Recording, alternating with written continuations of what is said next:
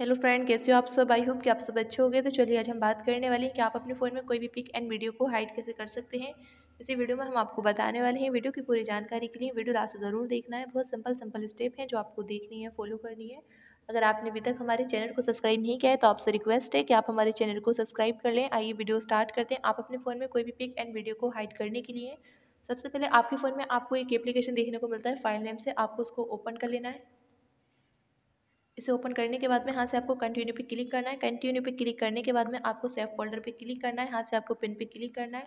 आप अपना कोई भी पिन सेट कर लेंगे। इस तरह से करने के बाद में यहाँ से आपको नेक्स्ट पे क्लिक करना है और एक बार पिन को कन्फर्म करना है।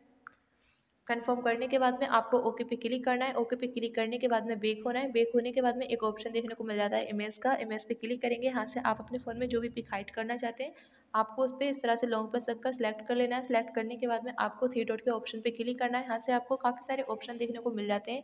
जिसमें से यहाँ से आपको एक ऑप्शन देखने को मिल जाता है मूव टू सेफ़ फोल्डर का। मूव टू सेफ़ फोल्डर पे क्लिक करेंगे। यहाँ से आप अपने फ़ोन में एक बार और ओल्ड पिन एंटर करेंगे। नेक्स्ट पे क्लिक करना है। नेक्स्ट पे क्लिक करने के बाद में यहाँ से आपके फ़ोन में पिक हाइड हो चुकी है। जो भी पिक आप अपने फ़ोन में हाइड करते हो, वो आपको गैलरी में देखने को नहीं मिलती है। बहुत ही सिंपल है इसी के आप अपने फ़ोन में कोई भी पिक एंड वीडियो को हाइड कर सकते हैं। आई होप कि आपको वीडियो अच्छी लगे। वीडियो अच्छी लगे तो वीडियो को लाइक करें शेयर करें। चैनल पर नए हो तो चैनल को सब्सक्राइब करें। मिलते हैं नेक्स्ट वीडियो में। तब तक के लिए बाय एंड टेक केयर